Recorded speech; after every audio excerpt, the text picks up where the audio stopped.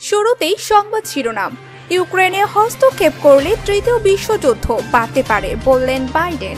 ভারতের ক্ষেপণাস্ত্র হামলার জবাব দেওয়ার অঙ্গীকার করল পাকিস্তান। আমরা প্রস্তুত, রাশিয়াকে হারাতে আত্মবিশ্বাসী ইউক্রেনের সেনাবাহিনী। আবারও আন্তঃমহাদেশীয় ক্ষেপণাস্ত্রের পরীক্ষা উত্তর কোরিয়ার।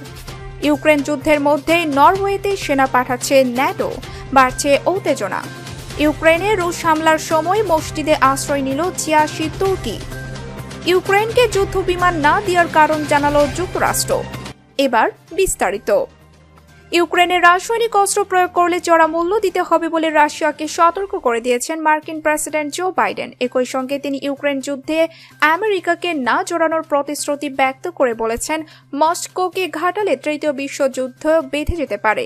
শুক্রবার জাতিসংঘ নিরাপত্তা পরিষদের এক জরুরি বৈঠকে রাশিয়া আনুষ্ঠানিকভাবে এই অভিযোগ করে যে, ইউক্রেনে জীবাণু ও রাসায়নিক অস্ত্রের ওপর গবেষণা করছিল আমেরিকা। রাশিয়ার আহ্বানে ওই জরুরি বৈঠক অনুষ্ঠিত হয়। আমেরিকা সহ পশ্চিমা দেশগুলো রাশিয়ার এই অভিযোগ অস্বীকার করে বলেছে। ইউক্রেনের রাসায়নিক অস্ত্র প্রয়োগের ক্ষেত্রে প্রস্তুত করার জন্য মস্কো এই অভিযোগ তুলেছে। জাতিসংঘ নিরাপত্তা পরিষদের অধিবেশন শেষ হওয়ার পর বাইডেন এক বক্তব্যে বলেন, রাসায়নিক অস্ত্র ব্যবহার করলে রাশিয়াকে চড়া মূল্য দিতে হবে। এই সময় তিনি রাশিয়ার বিরুদ্ধে আরেকটি দফা নিষেধাজ্ঞা আরোপ করেন। এর ফলে তিনি রাশিয়ার সঙ্গে আমেরিকার স্বাভাবিক বাণিজ্যিক সম্পর্ক প্রায় শেষ করে দিয়েছেন। আমেরিকা সহ ইউরোপীয় দেশগুলো কথিত তৃতীয় বিশ্বযুদ্ধের আশঙ্কায় ইউক্রেনের রাশিয়ার সরাসরি যুদ্ধে না জড়ালেও কিয়েভকে কোটি কোটি ডলারের সমরাস্ত্র সরবরাহ করছে। এইসব সমরাস্ত্রের মধ্যে রয়েছে যুদ্ধবিমান ও ট্যাঙ্ক বিধ্বংসী ক্ষেপণাস্ত্র। এছাড়া পশ্চিমারা ইউক্রেনকে গোয়েন্দা তথ্য দিয়ে সহযোগিতা করছে।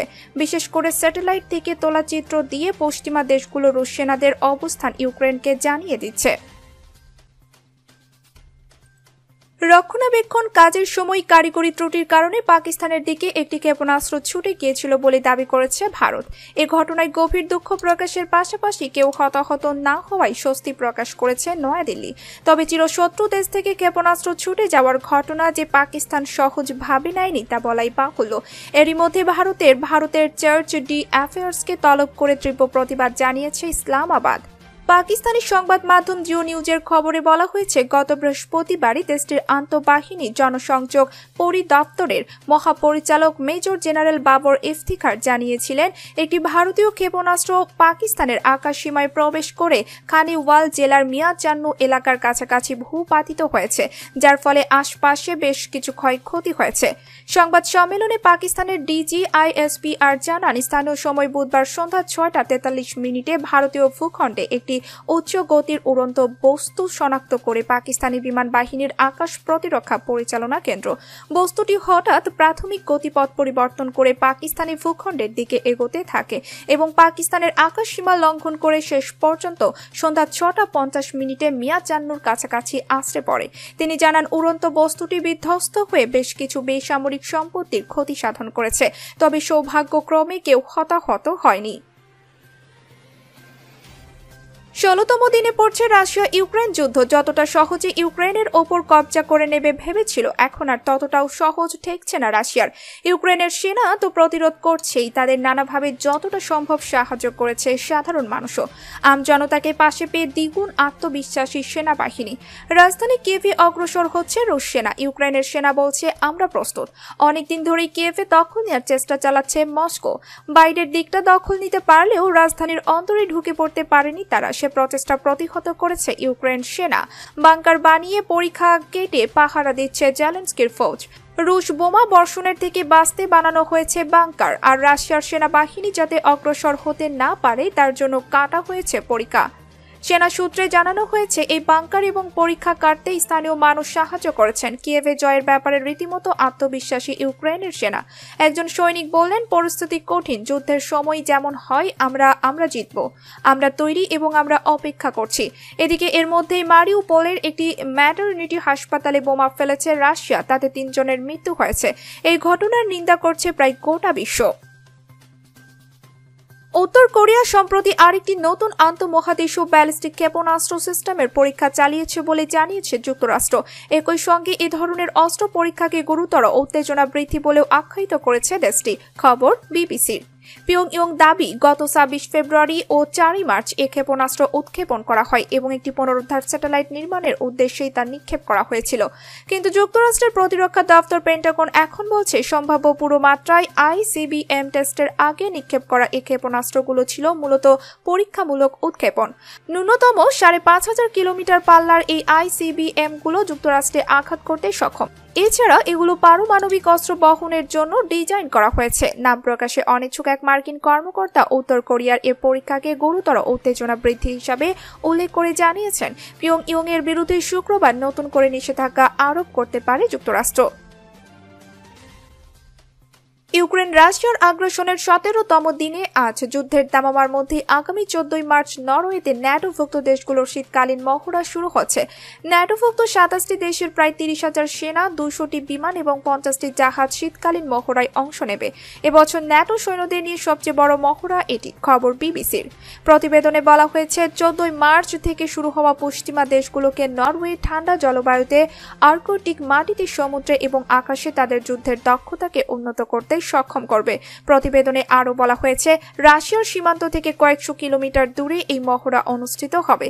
যদিও এটি মস্কোর ইউক্রেন আক্রমণের অনেক আগেই পরিকল্পনা করা হয়েছিল, যুদ্ধের কারণে এটি তাৎপর্য যোগ করেছে। নরওয়ের প্রতিরক্ষা মন্ত্রী ওড রজার এন কৌসেন বলেন, এই মহড়া নরওয়ে এবং তার মিত্রদের নিরাপত্তার জন্য অত্যন্ত গুরুত্বপূর্ণ। আমরা নরওয়ের একটি মিত্র শক্তি বৃদ্ধি অনুসরণ করব। আমরা নরওয়ের একটি মিত্র শক্তি বৃদ্ধি অনুশীলন করব।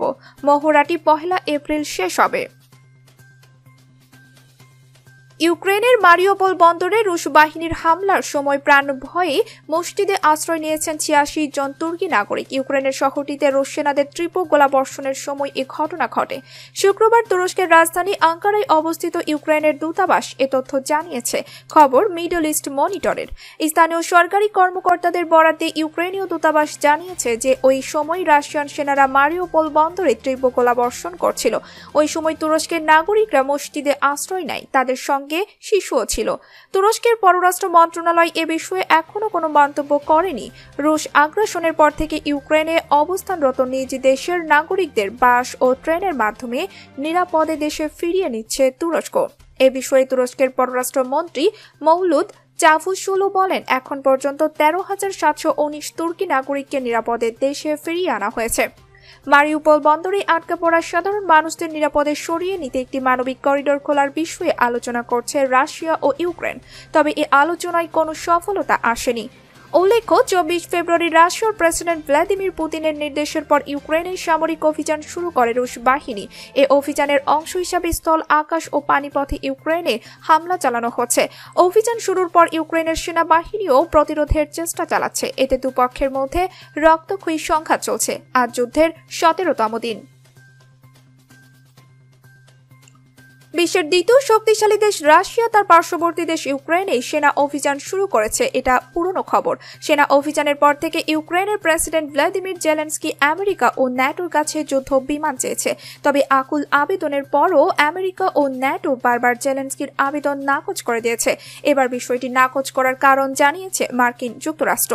সংবাদ মাধ্যম সিএনএন ও সিএনবিসি নিউজের পৃথক পৃথক প্রতিবেদনে ইউক্রেনকে যুদ্ধ বিমান না দেওয়ার সংক্রান্ত বিষয়টি উঠে এসেছে।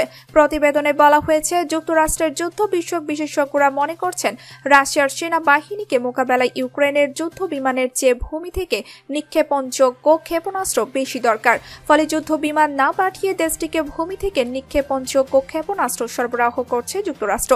এ ব্যাপারে আমেরিকার পররাষ্ট্র মন্ত্রণালয়ের মুখপাত্র নেট প্রাইস বলেন, রাশিয়ার দক্ষ বিমান বাহিনীকে পাল্টা আঘাত করতে ভূমি থেকে নিক্ষেপণযোগ্য কার্যকর প্রতিরক্ষা ব্যবস্থা খুঁজে পেয়েছে ইউক্রেন। আমরা আমাদের ইউক্রেনীয় মিত্রদের ভূমি থেকে নিক্ষেপণযোগ্য ক্ষেপণাস্ত্র সরবরাহ অব্যাহত রাখব। রাশিয়ান রকেট ও আর্টিলারি থেকে আসা কোলার হুমকি মোকাবেলায় এসব অস্ত্র তাদের দরকার। পররাষ্ট্র মন্ত্রণালয়ের এই মুখপাত্র আরও বলেন, ইউক্রেনের নিজস্ব সম্পূর্ণ মিশনে সক্ষম বিমানের বেশ কয়েকটি স্কোয়াড্রন রয়েছে। যুক্তরাষ্ট্রের পক্ষ থেকে এইসব সামরিক সরঞ্জাম আরও পাঠানো মানে দুই পক্ষের সংঘর্ষের ঘিয়ে আগুন ঢেলে দেয়া। সংবাদ সম্মেলনে তিনি বলেন, সংঘাত বন্ধে এবং সংঘাত যাতে আর না ছড়িয়ে যায়। সেজন্য আমরা যা করতে পারি এবং যা করা দরকার, তা করাটা আমাদের দায়িত্ব। প্রিয় দর্শক, ভিডিওটি ভালো লাগলে লাইক, কমেন্ট এবং শেয়ার করতে ভুলবেন না। প্রতিদিন আপডেট খবর পেতে আমাদের সাথেই থাকুন। ধন্যবাদ।